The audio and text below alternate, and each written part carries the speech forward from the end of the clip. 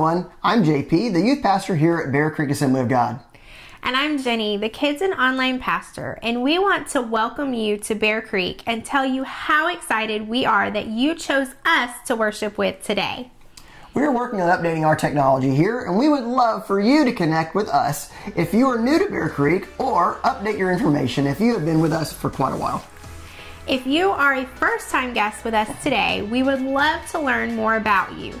You can text NEW to 1 844 259 0900 or open your camera app and scan this code on the screen now.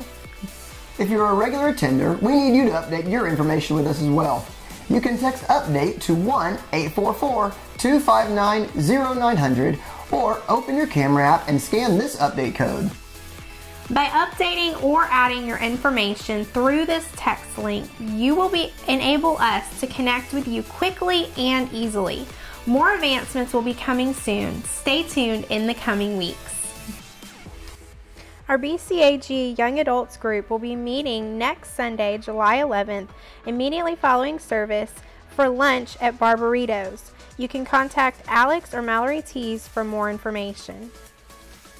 Ladies of all ages are invited to a ladies' brunch Saturday, July 17th, right here in the fellowship hall at 9:30 a.m. You can contact Lee Fuller for more information. We have some new exciting things happening next Sunday right here in at Bear Creek. So stay tuned and make sure you're here in the service next Sunday. Stay connected with your church family online through our Facebook campus. If you're on the go, listen to sermons, Bible studies, and more on our podcast channel. Stay tuned for more advancements coming soon to enhance your online experience throughout the entire week. Thank you so much for all our guests and church family for being here with us today.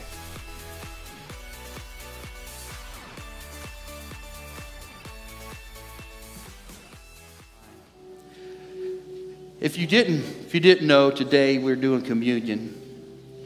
And so I hope everybody received a communion element. If you didn't, our ushers are, I shouldn't call them ushers, they are our hospitality team, is prepared to serve you if you need them. If you're watching online with us this morning, if you want to get something out of the kitchen and take communion with us, obviously we encourage you to do so.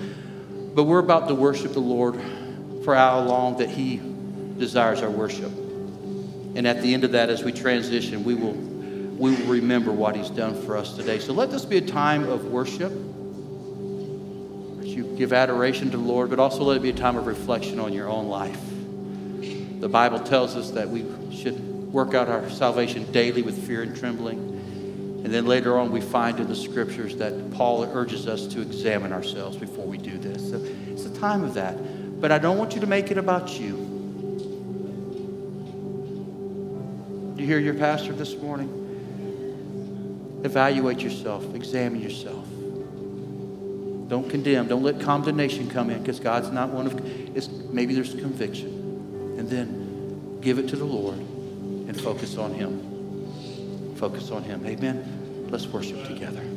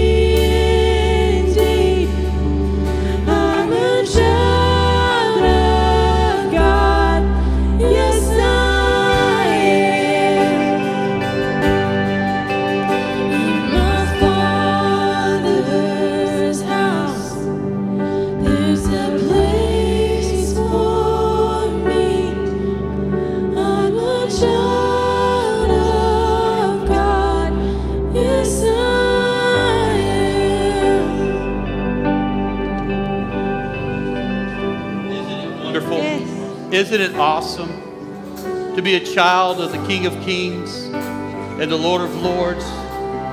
That song talks about a room being prepared. We know Jesus says, I go away to prepare a place.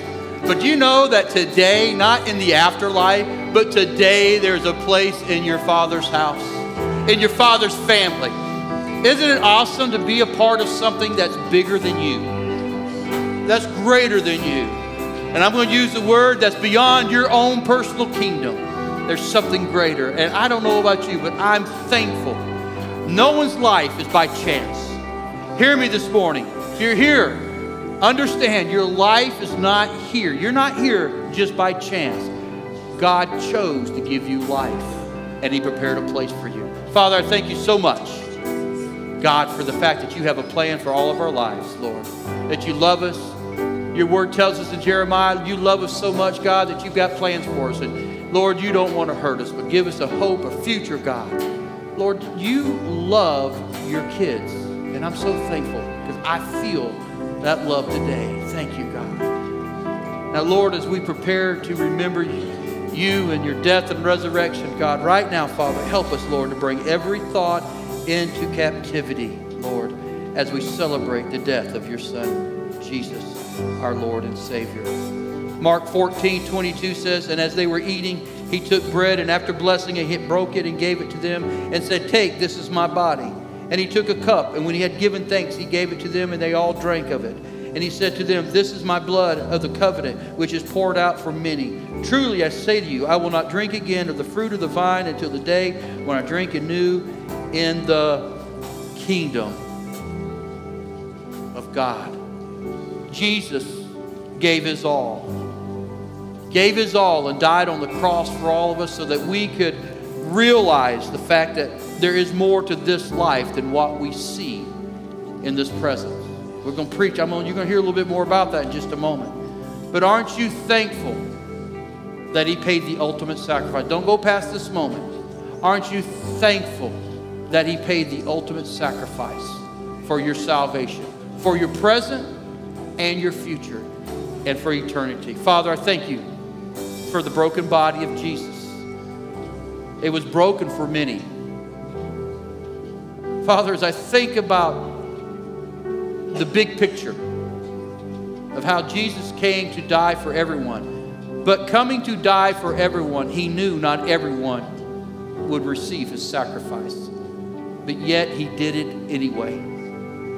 I believe, Father, 2,000 years ago when he hung on that cross, somehow, some way, he was looking into this moment at this time. He was looking at our lives today in the 21st century, knowing that we would need a Savior. I thank you so much for his broken body, the bruising, the beating, the piercing of his body, Lord. And I thank you for the shedding of his blood that covers a multitude. As a matter of fact, Lord, it covers all sin for eternity. Thank you that we can be in covenant with you through the sacrifice of your Son. Let's break the bread and eat and drink of the cup.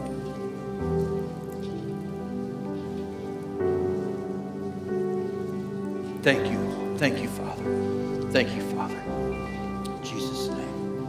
In Jesus' name. Amen. Amen. Praise God. Praise the Lord. Thank you, worship team. You guys rocked it out today. Thank you, guys, so, so much. Amen. Praise the Lord. If you would, turn in your Bibles to Mark chapter 1. And just so that you know, don't be in a rush this morning. It's raining outside, so why hurry up to go fight the rain? So, and I think the Lord just told me it's going to rain for at least an hour and a half. So, we've got time in here this morning. Yeah, at least some of y'all are praising God. Thank you. Woo, you just lifted this preacher's spirits a little bit. Amen. It's so good to have Sis Callahan in our presence this morning. Sis, God bless you. So good to see. She hasn't been here since the COVID broke out, and uh, just so thankful that you're able to be with us. She's been following us a little bit here and there. I've been to see her a couple times, but so good to see you. And it's good to have Sister Bonnie Seegers in our presence this morning. Thank you, Sister Bonnie, for coming. Uh, I know you came to be with your son, but look, you get the benefits of hearing me preach. So, God bless you this morning. Amen. No, seriously, it's so good. And so many other faces here this morning. So good to see you all here this morning. Uh, you in Mark chapter 1? Are you in Mark chapter 1? There we go. There we go. Praise God. Well, I heard this about this little boy one time and his mom, they were going to church one day. They decided we're going to get up and go to church this morning. And, and as they was entering, this is the little boy's first time really being in the adult service. And his mom said, Listen, sweetheart, remember what I told you now, okay? We got to be quiet, all right? You understand why we have to be quiet, right? And the little boy said, Of course, mom. It's because the people are sleeping. I hope today you're not asleep. I hope today you're open to what the Lord has laid on my heart um, for this fellowship. I was talking with, with Brother Andy before service, and uh, he asked me, Are you ready? And I don't know if I'm ever ready. Until you've sat behind this sacred desk and spoke on behalf of God, I, I don't know how you can be ready. I'm just being honest with you, church. If for some reason it looks like it's easy, it's not. It's not. Not because of it's not because of lack of time or prayer preparation. It's just the fact of the, what I am doing. It's so heavy, and it's, I take it so seriously. So I hope today you have come prepared. I don't want to put a downer. It's a great, man, there's anointing in here today. Uh, a bunch of our youth leaders came they surprised me this morning. They didn't surprise me. I was surprised that they came to church early. We've been praying in here for 30, 40 minutes, and just, just a great presence of the Lord. And, and, uh, and I hope you you sense that for our guests. Don't be scared of that. God's not to be feared. As I say that, thunder. Okay, maybe he is to be feared. feared as in awe, but don't be, don't, you have nothing. You're in a, like I told the young lady a few minutes ago, you're in a safe place this morning. Amen. Well, as we continue this journey of this is the way, it's an idea of what is discipleship. We hear it, that's a, that's a biblical term we hear a lot of. And, and if, unless you was raised in the church, that word may seem Greek, to, for lack of a better term, may seem foreign to you. Discipleship, we understand the word of discipline, discipline your body. But what is discipleship? And to be truthful with you, I think, I think I'm not going to show the stats today, but those stats I've been showing when, when 4% of those under the age of 20 don't look at life through a biblical worldview, we're in trouble. And the generation before that is only 19%. There's a disconnect. And I think that's what God is wanting us to, to understand. Can I be honest? I can't control what other churches in our area do. I, I can't control what our denomination does as a whole, our fellowship as we I, all, all I can do is speak into those of you that come week in and week out and try to invest in you. And the idea of this is not so that our attendance goes up, although I hope that would be a positive benefit. It's not so that we have more workers in the classrooms, although I hope that is part of it. The hope, the hope is not to really, the hope for me as a pastor, it benefits me in a way, but it really not so that it benefits me.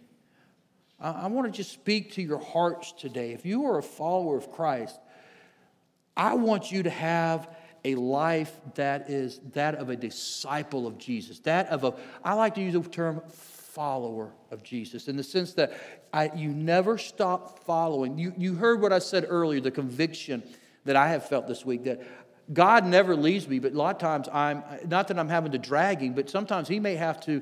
We say nothing's impossible for God, but between me and Pastor JP, it may be hard for him sometimes to keep up with, especially JP. But in other words, I'm doing life and I'm including God, and God says, Don't do life and include me.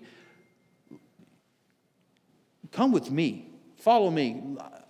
Don't ask me to come along with your journey. I'm asking you, and actually, he commands us his disciples, come along with me because I have a journey for you.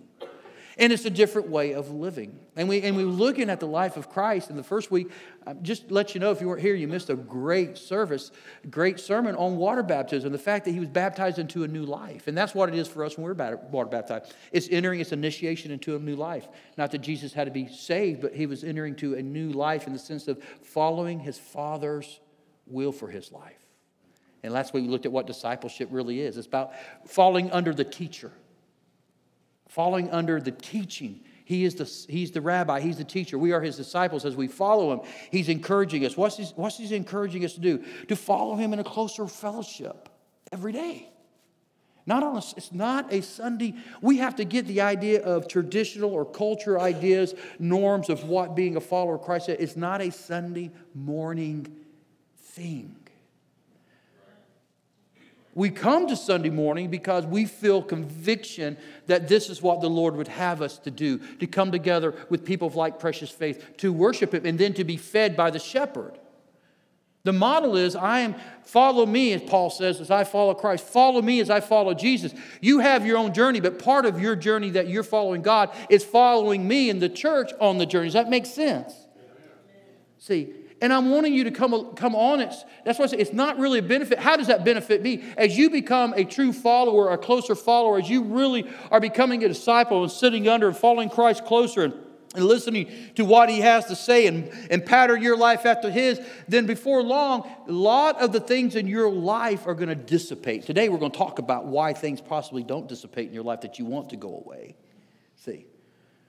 How does that benefit me? Well, now you're healthy. It's not about Sunday morning church, but I'm no longer, follow me, Pastor JP, I'm not no longer having to go over to the cleft and leave the 99 and find the one. Because you see, the image of that parable is that that sheep was a part of the flock. This isn't about church. Here it is about and that shepherd had to leave the 99 to go after the one. In reality, what should have been doing is tending the sheep, and then not that you're out looking for more sheep in the sense of, but tending to the sheep, and as those sheep have more sheep, produce sheep, then I, as a shepherd, thank you, Brittany, producing sheep, but also reaching the lost, which is also part of the disciple. She gave me a little grin when I said that. But then I'm actually able to now start shepherding those sheep. See, I, I hope this imagery is coming together. So today, I, I want us to look at the authority of the kingdom of God as a disciple. Okay?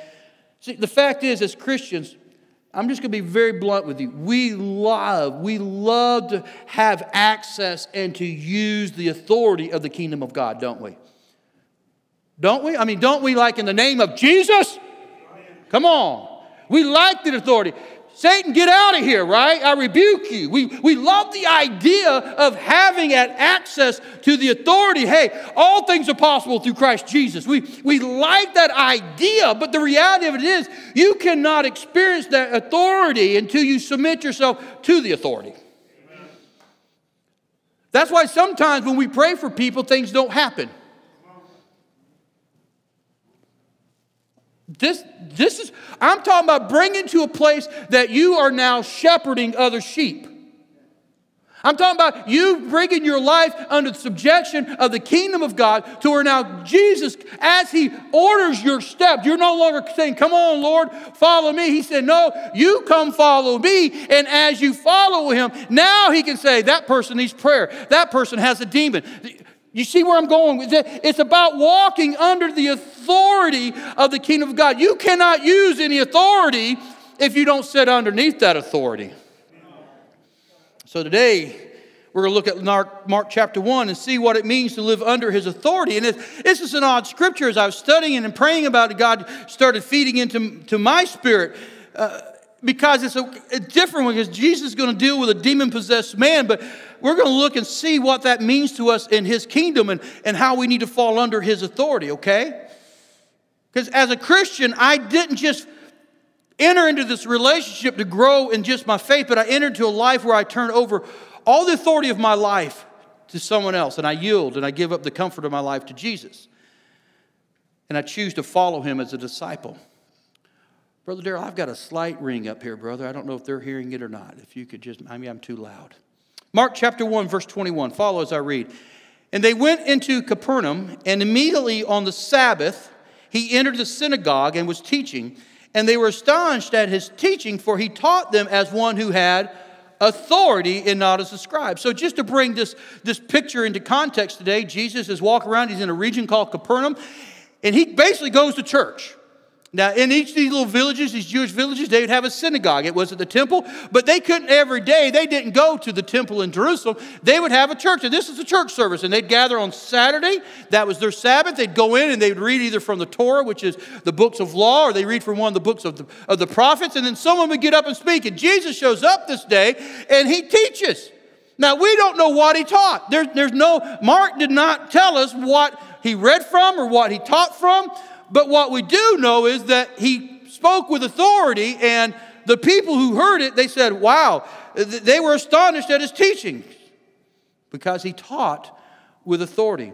Whatever he was teaching not only astonished the listeners, but the authority within he, was teaching prompted a response from someone in the congregation. And immediately, verse 23 says, there was in their synagogue a man with an unclean spirit. And he cried out, What have you to do with us, Jesus of Nazareth? Have you come to destroy us? I, I know who you are. You're the Holy One of God. But Jesus rebuked him, saying, Be silent and come out of him. And the unclean spirit, convulsing him and crying out with a loud voice, came out of him, came out of the man. And they were all amazed, so that they questioned among themselves, saying, what is this?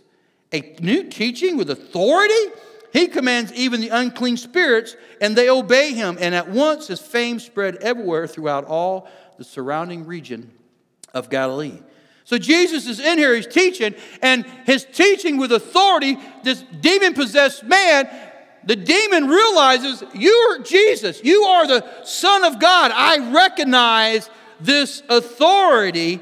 And, and, and, immediately he comes up and he confronts Jesus. But Jesus, what does he do? He didn't get panicked. He didn't get alarmed within his authority in a very calm way. He rebukes the spirit in the man. From this, this, this scripture comes the reality, a very real reality. I don't want you to be scared. If you're a child of God, you have no reason to be scared. But there is an evil kingdom that is work that is in, at work in our world today. There is a real kingdom of darkness that is at work. And, and as a matter of fact, there exists in our world various types of kingdoms that are at work in our lives today. There are the kingdoms of man, man made kingdoms that we all find ourselves in at times, okay? There, there, there's these earthly, manly kingdoms. It, it, it's a system, it's a place, it's a place of employment uh, it could be a place of employment, whether where you fall under this system. It could be some type of group, club uh, that you're a part of. It could be a social group, and there, there, they, within there, there's a kingdom, there's a system of doing. It, we know from the fact that we live in the United States of America that there is a system of rule. That's, that's what kingdom means. It means there's a reign, there is a rule that we all must fall under. And then, of course, there is Satan's kingdom which influences most of the other kingdoms of this world. Do you understand that? Satan is busy trying to infiltrate other kingdoms that we create in our world to, to infiltrate them, to command them, to bring subjection to them, to bring you to your knees in that kingdom. See, what it means to submit, I think I passed over the definition of submitting to authority, but basically, submitting to authority means you place yourself underneath that authority. You place yourself underneath the, the influence, the leading, the guidance of that kingdom or that king, whatever, whoever it may be. And so we have that in our world, and Satan has it. Paul describes his kingdom as principalities and powers and, and spiritual wickedness, wickedness in high places. Lord, help me right now with my words.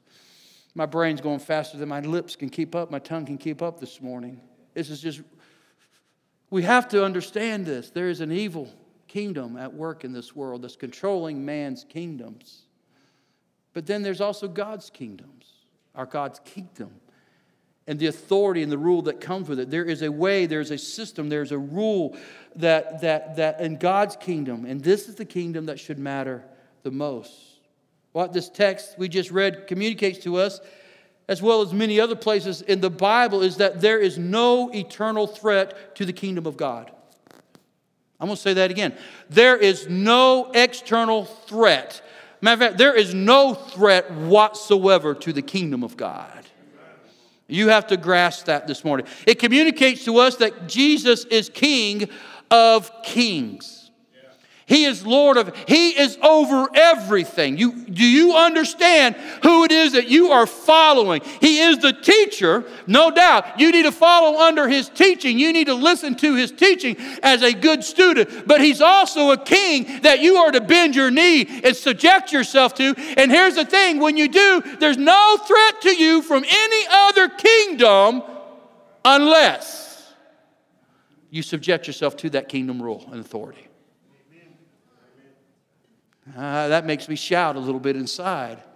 When I place myself under the authority and the kingdom of the King of Kings, all those benefits are mine because I'm subjected to his authority, his rule, his system, his way of living, his way of doing, his way of doing life. As I follow him, he says, I'm going to teach you. This is the kind of king we serve. I'm going to teach you. I'm going to put my arm around you and I'm going to guide you and I'm going to show you things. Isn't that what he did with the disciples? And then when the enemy come against them, or when they were presented with challenges, he said, Let me show you how you should do it. And he says, And guess what? One day you're going to do these things and even greater things. Because I'm going to be with you to the end, see? It's this kingdom. It's this kingdom. The good news is that in a world that is hurting and being destroyed by sin, there is a king with a kingdom that has come to rescue us. We just celebrated that in the communion. And someday all earthly kingdoms will fall. Not all, he has authority over all those today, but they're all not bending their knee to him today. Come on, right? We know that. But one day we know every knee, every kingdom, every authority will be crushed and he will rule alone. There will be no competition. There will be no false kingdoms, no false Christ, no false gods. He will rule forever. And one day Satan's kingdom will be destroyed. The kingdom of God will rule forever and ever.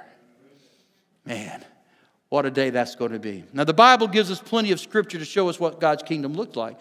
And within his kingdom, there's this peace that comes with it. How many y'all are looking for peace today? Yeah. Well, within it, there is a peace that comes with his kingdom. There's a type of morality that is built upon his kingdom principle. See?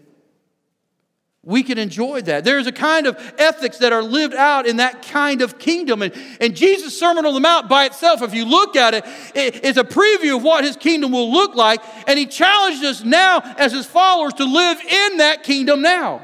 It's not a kingdom that we'll live in one day when we pass from this life to the next. It's not a futuristic kingdom. Yes, there will be a day where he'll set foot back on the Mount of Olives, riding that white horse with faithful and true on his robe, and he will rule from Jerusalem for a thousand years. Yes, that will be the, but he says that he invites us today, we can live within the kingdom. He came to establish his kingdom in our hearts today. And with it, can I be honest with you? We are to take on this world and turn it over to his kingdom rule. It is, yes. That's how you want to change your world? Get your neighbor to accept Jesus as Lord and Savior.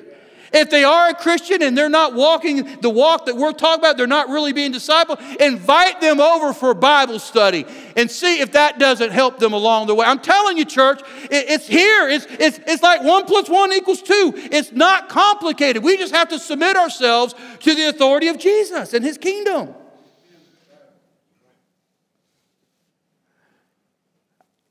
I hope you're grasping this. I know my mind is just going pew, pew. That, that may be that double shot too. I don't know. The coffee I drank this morning. When you enter into a relationship with the king, you enter into his kingdom and become a citizen of that kingdom. And Jesus is not just your teacher, he's now your king. Now, I get it. We are citizens of the United States, and I'm proud to be a citizen of this nation. But I can tell you, I'm first a king, citizen of the kingdom of God. And where Jesus modeled that we, we subjected those in authority over us, he never did it to the point that it compromised his kingdom lordship or where it compromised what the, the word would tell him, what his father would tell him. See? And nor should we. I am a citizen of the United States. I'm going to follow their laws and their rules until it compromises what the Word of God says. See? I first and foremost am a citizen of the kingdom of God. I subject myself to Him and all the other kingdoms in this world. In your life, they must fall. All my kingdoms must fall under the authority of Jesus.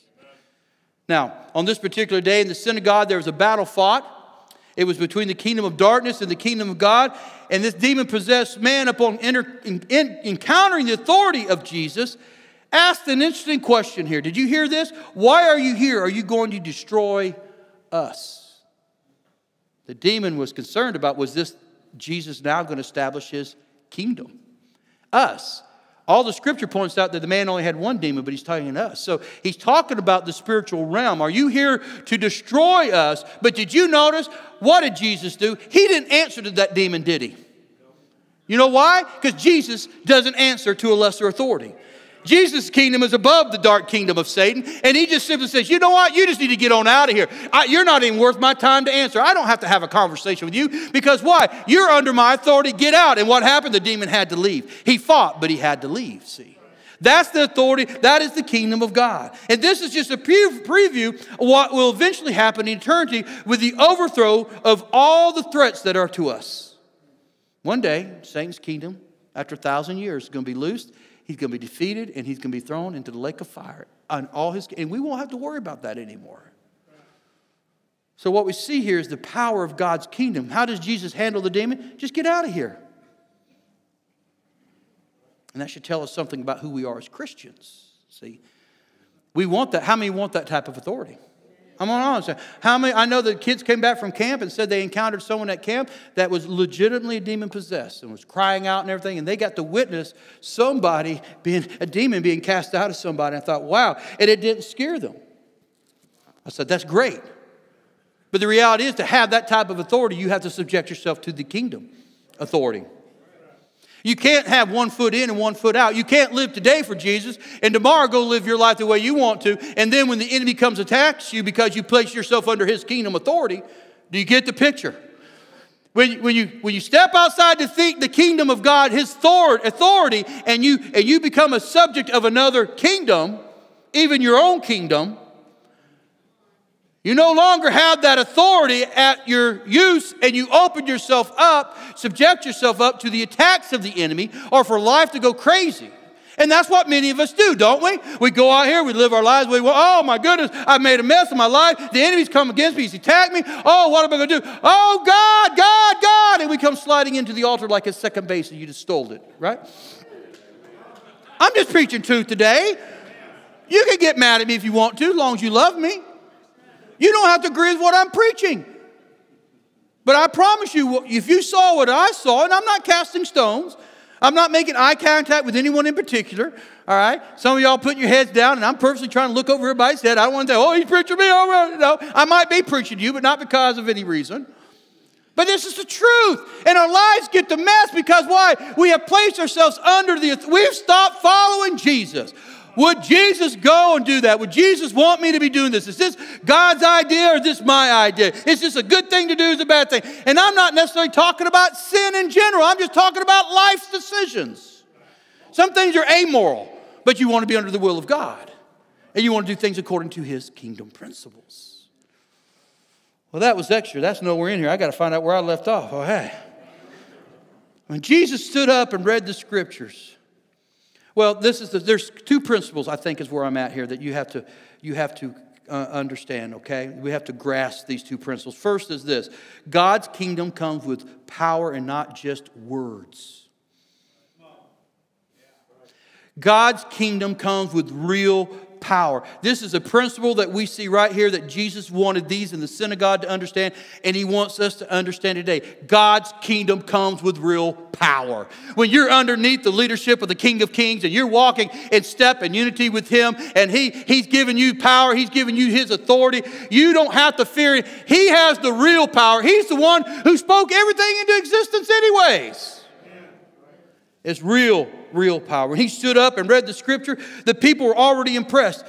Why? He didn't speak like the scribes. I hope I'm not like a scribe. What the scribes would do is they would get the word, they'd get the, the Torah, they'd get the, the, the, the law or one of the prophets, and they would read from it, and then they would just kind of ramble about or give their ideas of what somebody else thought about or what their teachers thought about or who they learned under, or what the Pharisees might have told, told them say, because the scribes fell under the Pharisees. And what happened was is there was no there was no passion, there was no authority. It's almost like going through the motions. Jesus comes along, and let's face it, if he read from the Torah or one of the books of the prophets that they, that they may have had at that time, then what, what, what is, he's reading the same thing the scribes have read. But he had authority. Why did he have authority? Because when he there was an anointing upon Jesus, when he is the author of the word, when he spoke it, when he read it, when he taught, there was compassion, there was conviction, there was love behind it. They could see in his voice and his action, his words, how he wanted them to grasp the truth of his father's word so it would change their lives. This isn't about building my kingdom, it's about you falling under the subjection and the authority of God's kingdom so you can have the life you. He came with compassion. He came to save the lost sheep of Israel. And he was compassionate about it. He said, Whoa, what is this? We've never heard someone with this kind of intensity and this kind of passion. I don't know. Maybe he was a little Pentecostal and he jumped and ran. I don't know. But there was something different when he presented it. There was authority. See, the good news of the gospel is that this it has the power to change the course of somebody's life. The, power of the gospel is it has, it has the power to change someone's life. Within the good news of Jesus, there's power that will bring about change in people's lives. It will bring us to repentance. It will bring healing. It will bring deliverance. It gives us wisdom that, that we can actually use to shape our lives. There's real power that moves, that shapes, and changes things in my life.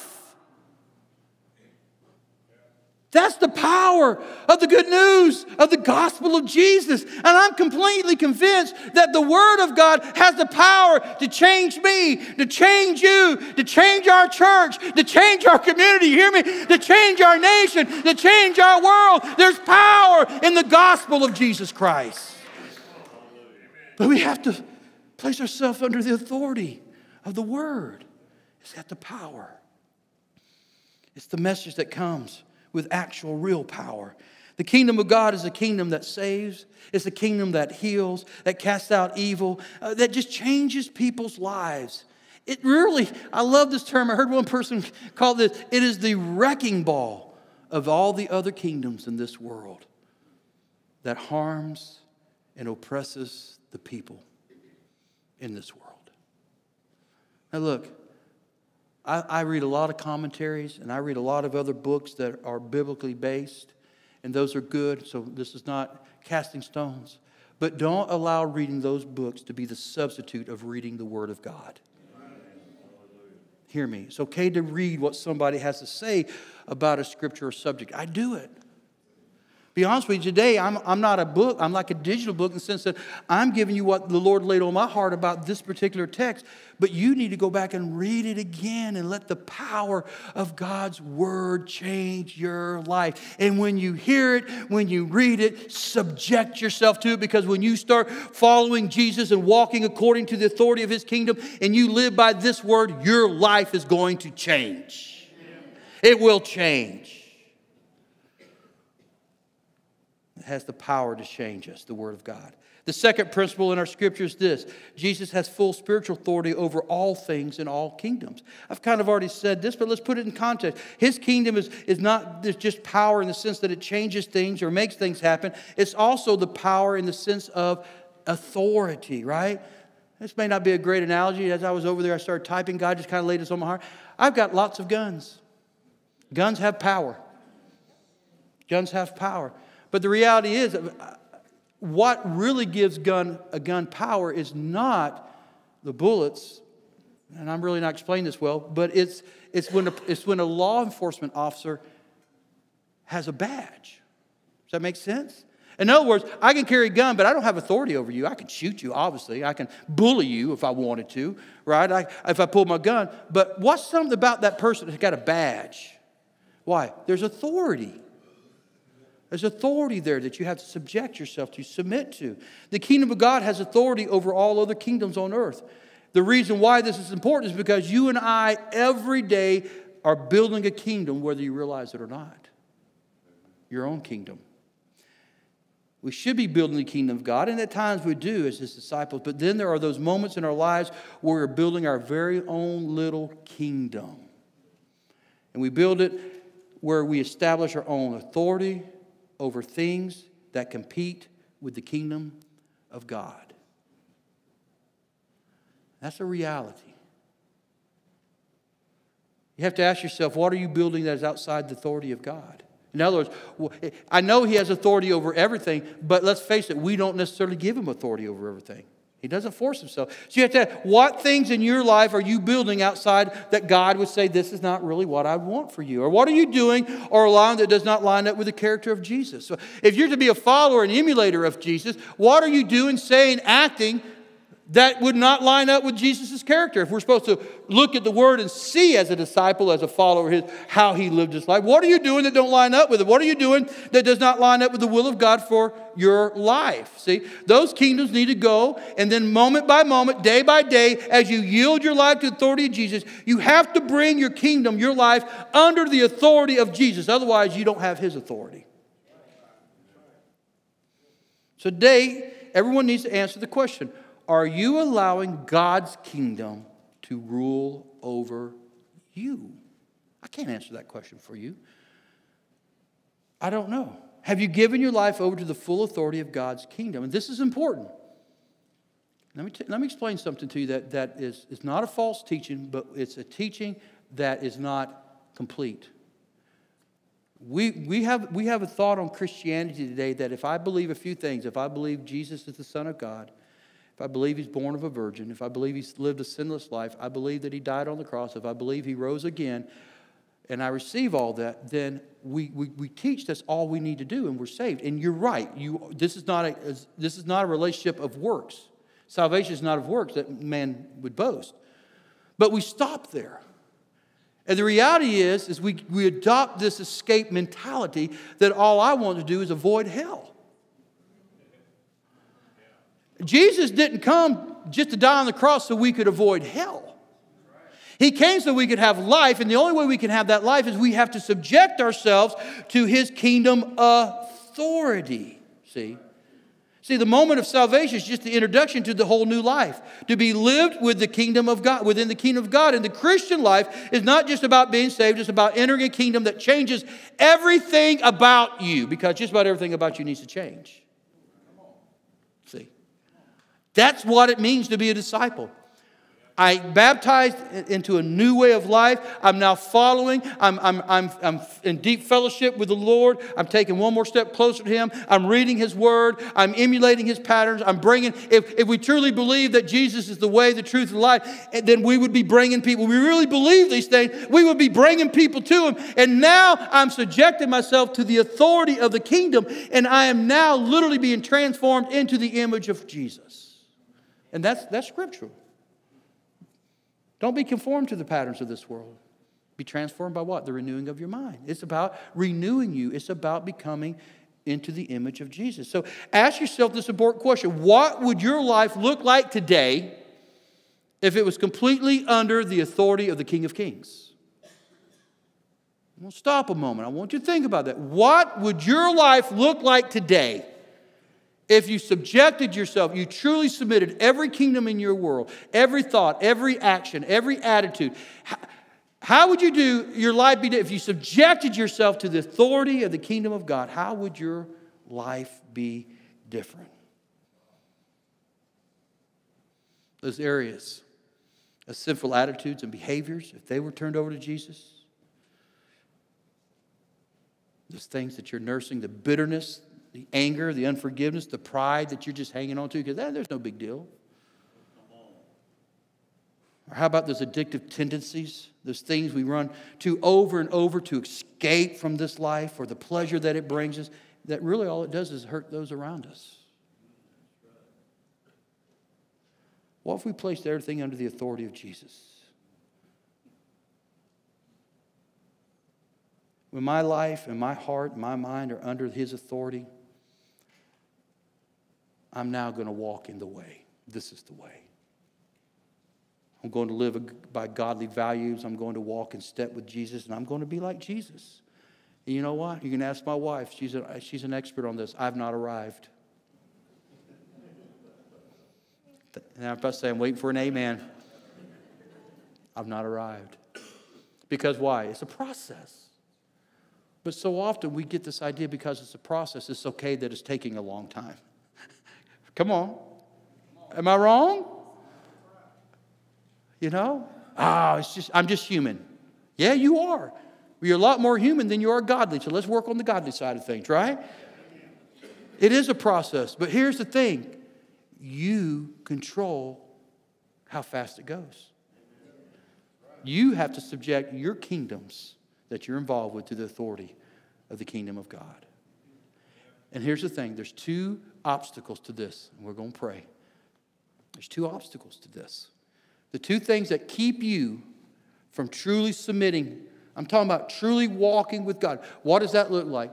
Being a disciple, living your life like Jesus would have, turning the cheek when you get slapped. Turning your, I'm talking about not returning anger for anger. I'm talking about walking in perpetual forgiveness, loving your neighbor as yourself, doing to others as you'd have them do unto you. You hear what I'm, t- you hear what I'm saying? It's not about my kingdom and my feelings. No, it's about being like Jesus. Okay? And the two, the two are this. The first is pride. Pride. The idea of submission is not easy because we love our throne in our kingdom, don't we? We want things how we want it. Matter of fact, the world sells this thing. Remember the old day? Get it your way. The commercial was at Burger King. Hold the lettuce, uh, all that. Yeah, have it your way. We like it our way. We like to place ourselves on the throne of our lives, the kingdom, our kingdom. And we like to rule it. It's my way, it's how I want to do things.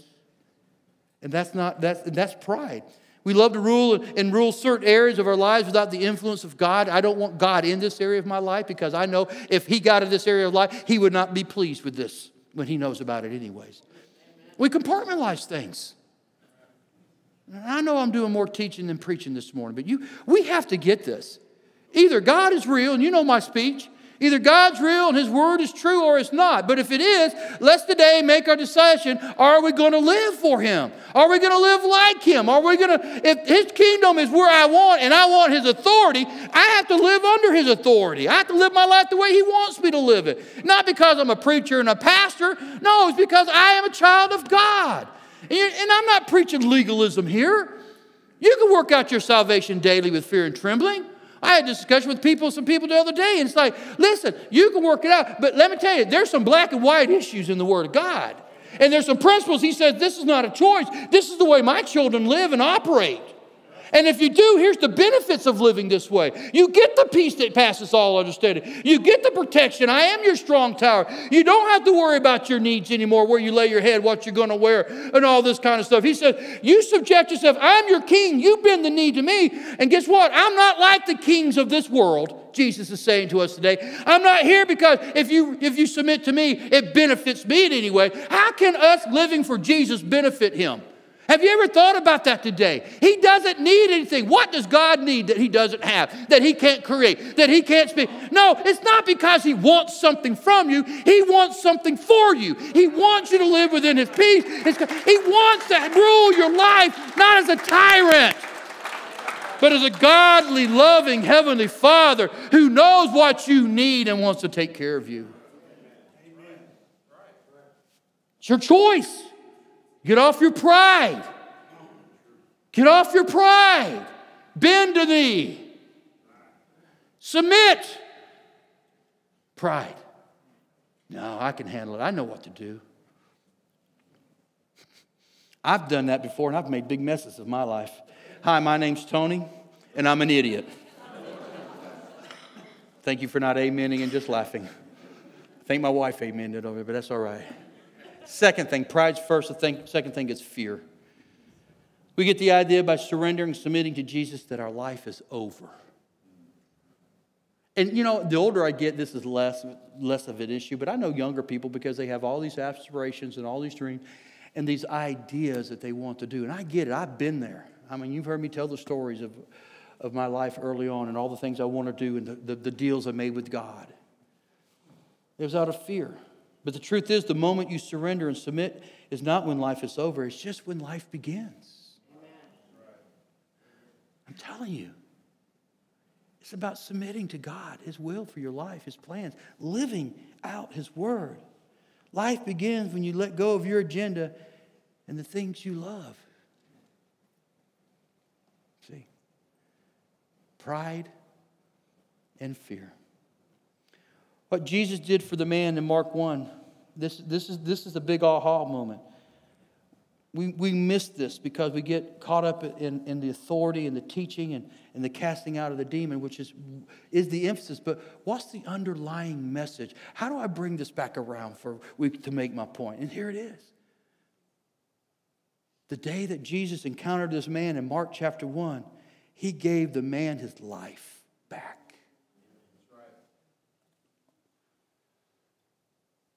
He gave his life back.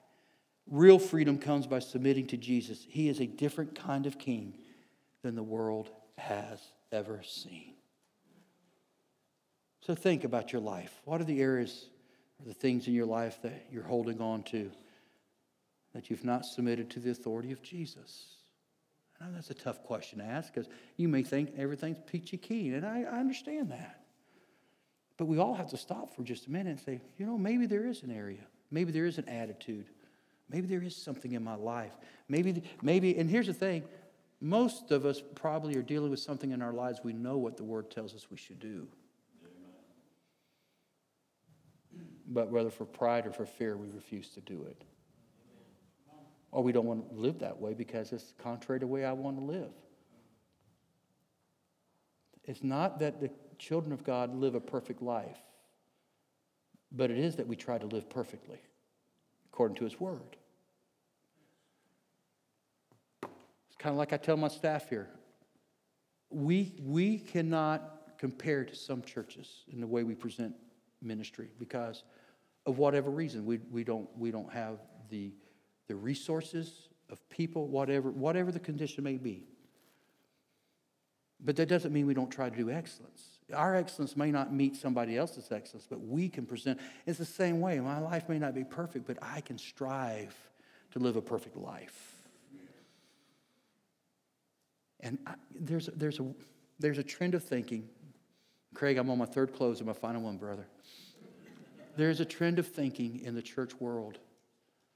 And, and I've kind of hit on this before. And this is just coming, I feel like the Spirit's leading me to say this is as if we, we, we deal with brownie points with God. If I do I'm doing some good things for you, Father. I'm doing some good things. I'm teaching a Sunday school class, or, you know, I'm, I'm, I'm being nice at work, and, you know, I've stopped watching this, or, you know, we make it about the things we do or don't do.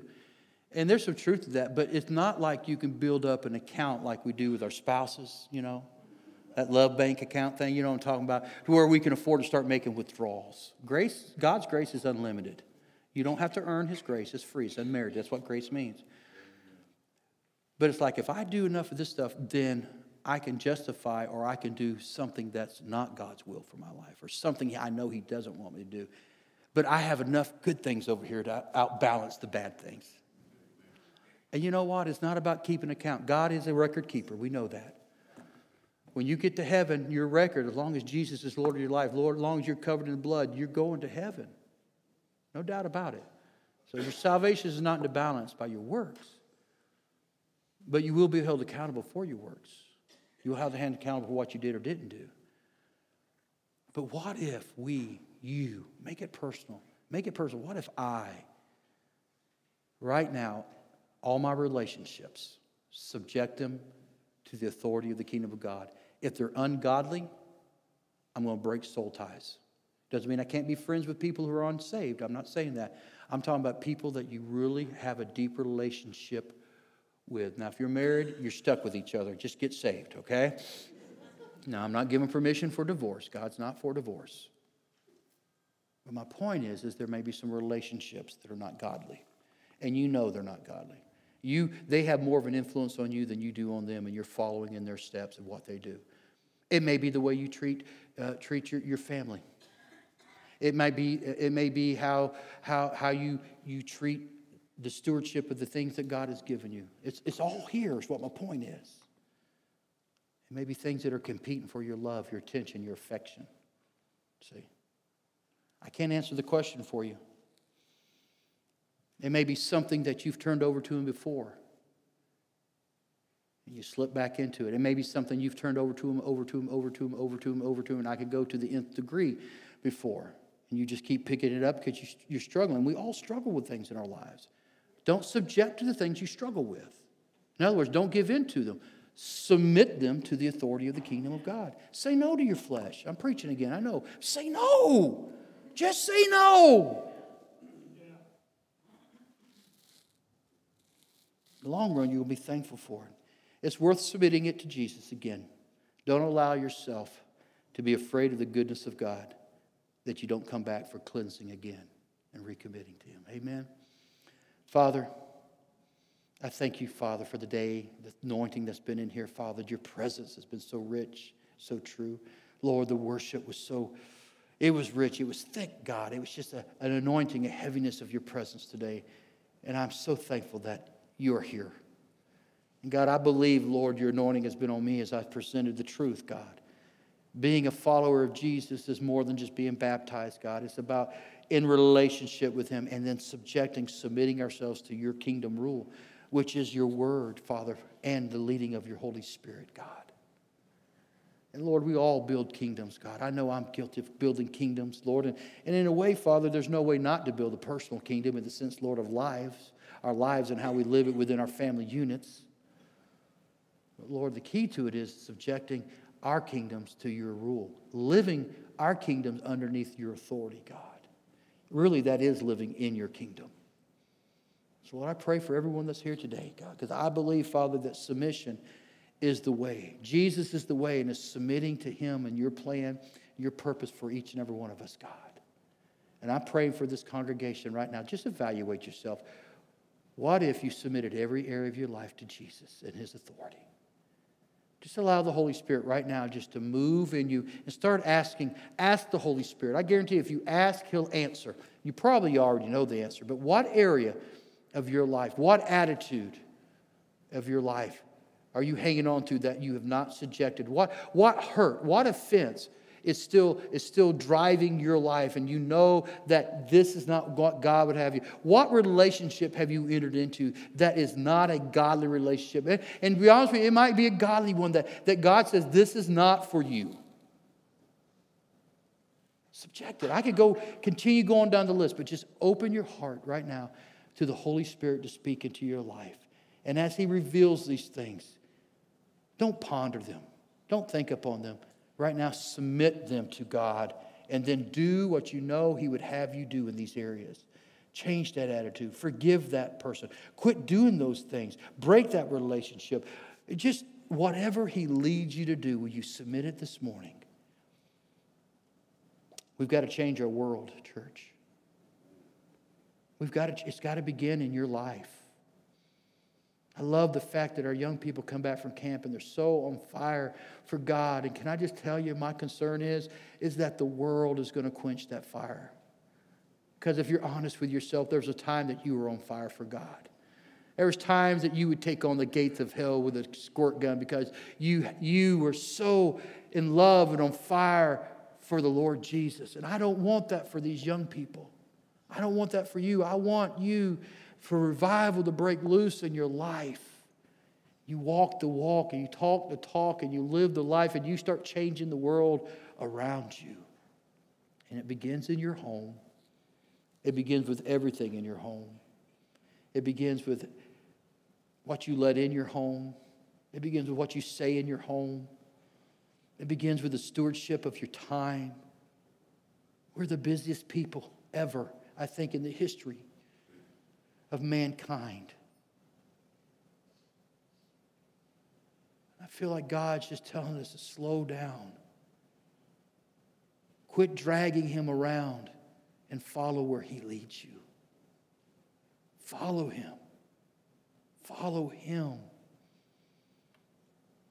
He came to lead you into a life that is unbelievable with all the benefits all the benefits. But you have to subject yourself to his authority.